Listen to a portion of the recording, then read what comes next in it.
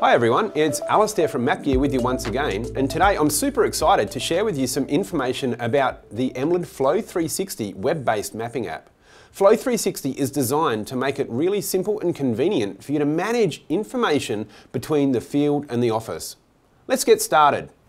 So as you can see, I've logged into my account in Emlid Flow 360, and I can now see all of the projects that are associated with this Emlid account. Now I'm able to click on one of the projects that we've done out in the field and visualize the data for that project. In this instance, it's a very simple project showing one of our customers how to map a fence line along a property. One of the things I can do in here is review the information that was collected and I can now uh, export that information in a variety of formats. I can also use Emlid Flow 360 to import information into the project and when I synchronize on Emlid Flow in the field, it's also going to allow me to see those projects pop up in my Emlid Flow app.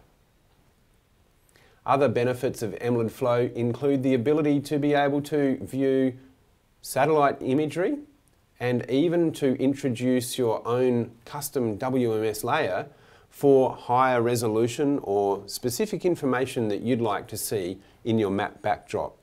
Those last two features, however, are only available with the survey plan, which is a paid account that you can purchase from Emlid.